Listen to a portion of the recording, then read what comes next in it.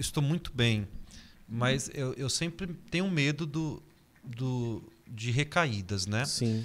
É, hoje eu me sinto muito bem.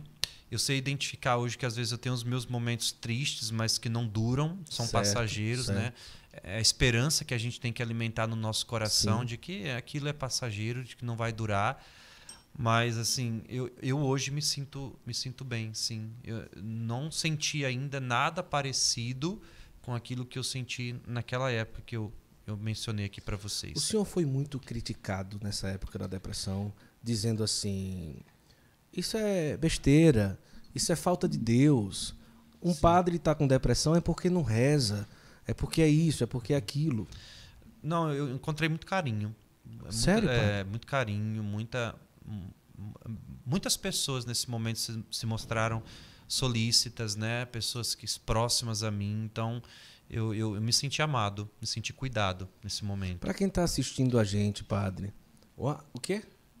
Ah, tá. Ó, o padre tá tomando café Santa Clara. Três horas feito uma agora. delícia, padre. viu? Tá uma muito delícia? bom, muito bom mesmo. Agradecer aqui o Café Santa Clara, viu? Que coisa boa.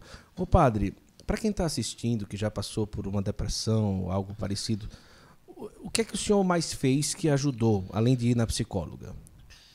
É, é um, é um tripé, um tripé, né? Eu acredito nisso. É, é a psicologia, né? A terapia, Sim.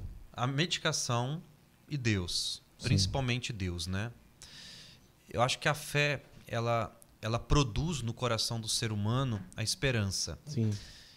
Diante de uma tragédia, Guto, por exemplo, diante da morte, eu vou colocar uma evidência que talvez seja a pior das dores que a gente pode sentir quando, Sim. quando a gente já não tem a presença de alguém que a gente ama. O ser humano diante da morte ele tem direito a tudo. Ele tem direito ao desespero, ao sofrimento, a chorar. Ele tem direito a, a tudo isso. Parte do luto que é necessário até.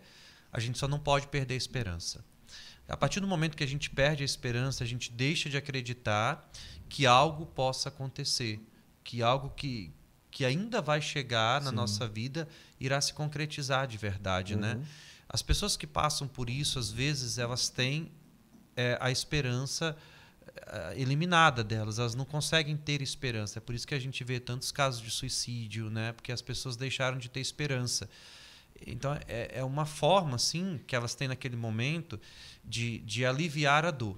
Sim. É, eu não tenho mais nada a fazer nessa vida, eu não tenho por que estar aqui, a minha vida ela não presta, não vale nada, é, eu não tenho motivo mais para viver. Então a gente vai se, se enchendo dessas coisas, porque perdeu a esperança de a gente acreditar que a nossa vida é dom, que a nossa vida ela é dádiva de Deus e que a gente precisa entender que o melhor ainda vem, que o novo, que o sol vai nascer mais uma vez na nossa vida, né?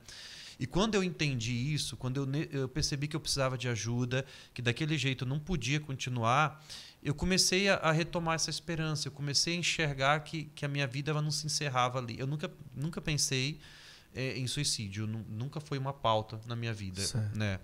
Mas eu sei que muitas pessoas pensam isso, né?